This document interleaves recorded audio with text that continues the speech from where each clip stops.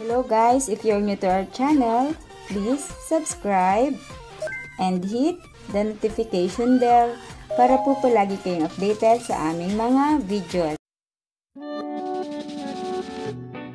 Hello po mga ka-HG! Our vlog for today is an update of our mini farm.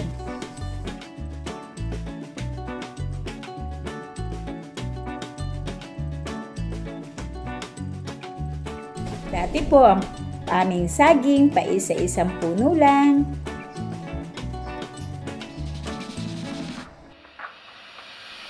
Tapos pahulaan pa kung makakasurvive.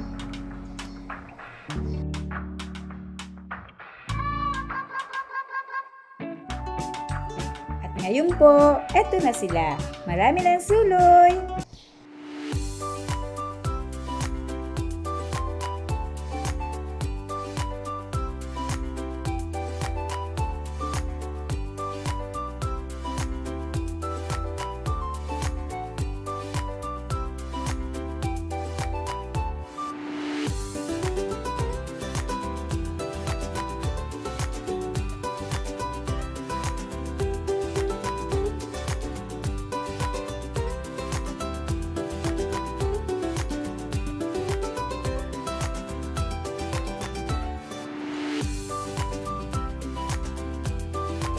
Malapit na rin pong bumunga.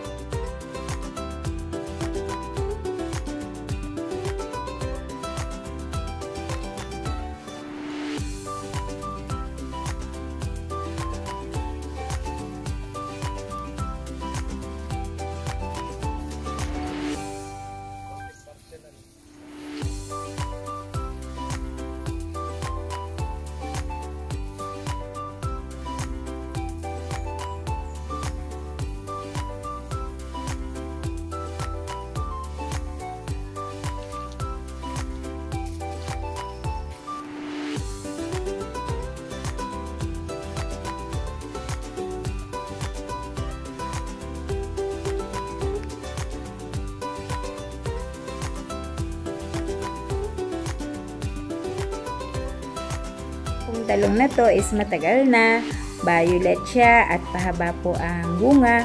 At up to na po, nagbibigay pa rin ng dalawa o hanggang apat na bunga.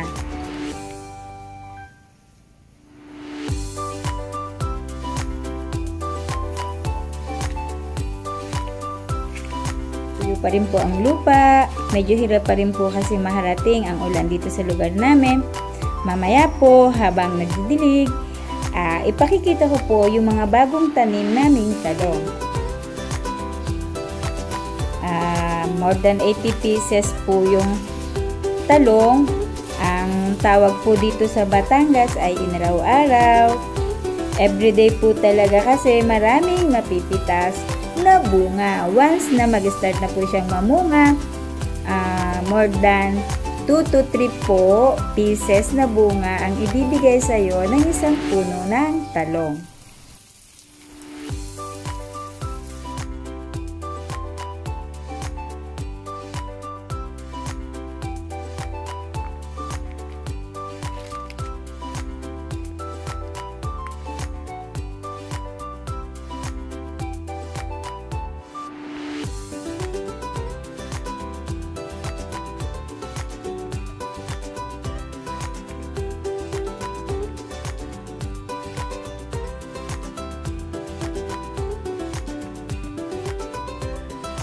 Patapos na po ang, ang bearing season ng aming papaya. Madami na po siya na ibigay na bunga. More than 5K po siguro na pagbentahan. Bukod pa po sa naging giveaways. At saka libre dessert po dito sa bahay. Uh, hope by September magbibigay ulit ng maraming bunga ang aming papaya.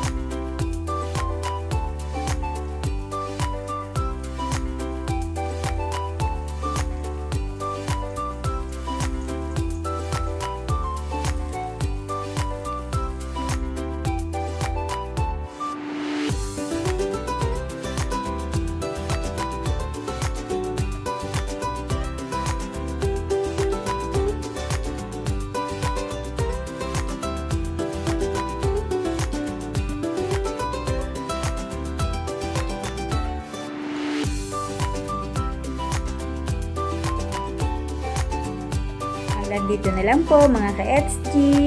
Sa amin po mga subscribers, thank you very much. I hope na enjoy nyo po yung aming mga videos. At sa mga hindi pa po nag-subscribe, subscribe na po kayo.